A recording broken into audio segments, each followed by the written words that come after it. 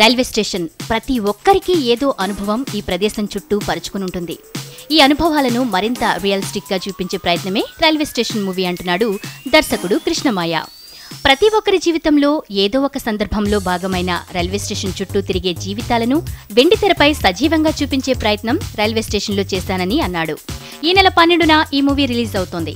చిత్ర విశేషాలను యూనిట్ మీడియాతో పంచుకుంది. ఇప్పుడు మా railway station cinema censor certificate అంతా రిలీజ్ చేసుకుని ఇప్పుడు పన్నెండో తారీఖు మీ థియేటర్ మీ ఊరు ముందుకు రాబోతుంది. సినిమా చాలా బాగా వచ్చింది. ఇరవై తీసిన మేము చెప్పడం కంటే మీరు చెప్పడం మంచిది.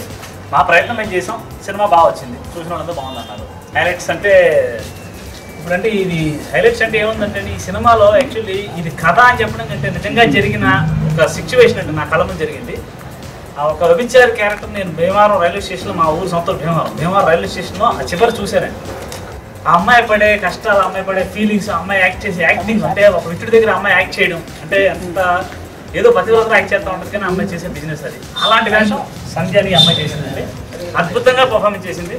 ఈ అమ్మాయి ఒక హీరోయిన్ ఈ అమ్మాయి ఒక హీరోయిన్ అంటే రైల్వే స్టేషన్లో జాంపళ్ళు అమ్ముకునే అమ్మాయి. ఎంత న్యాచురల్గా ఉంటుంది అనే దాని గురించి అమ్మాయి సెలెక్ట్ చేసి ఈ అమ్మాయి ఆ క్యారెక్టర్ న్యాయం చేసింది. అలాగే ఫ్లాష్ బ్యాక్లో ఒక అక్కడికి వచ్చిన స్టేషన్లో కొన్నోడికి ఏంటి లైఫ్ వాడు ఏం చేయబోతున్నారంటే వాడికి ఒక ఫ్లాష్ బ్యాక్ అమ్మాయి ఒక హీరోయిన్ సినిమా అద్భుతంగా ఉందండి అన్ని హైలైట్సే సినిమా మొత్తం హైలైట్సే. మీరు తప్పకుండా చూడాలి. Thank you thank you very much